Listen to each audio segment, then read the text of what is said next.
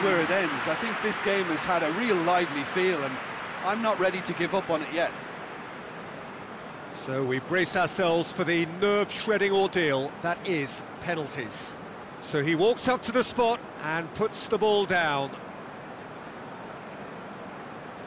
So the first penalty.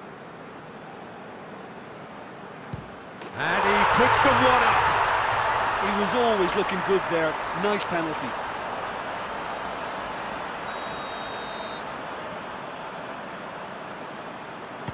Oh, it's saved. Pretty much straight at him. I think the tension must have got to him because that went straight into the keeper's arms.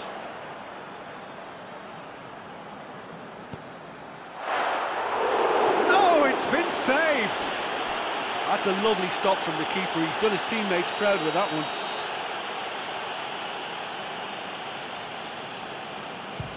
That's how it's done. He made the keeper commit. He just did what he was asked.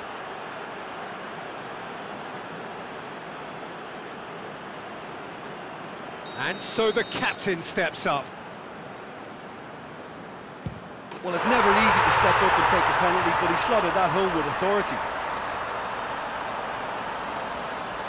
Carlos Soler is third in line.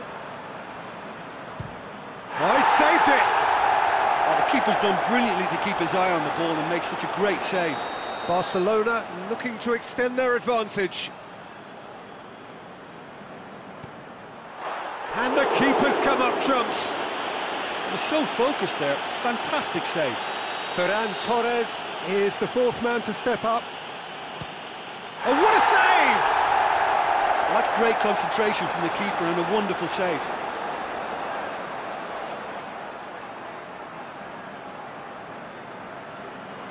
So this to seal it.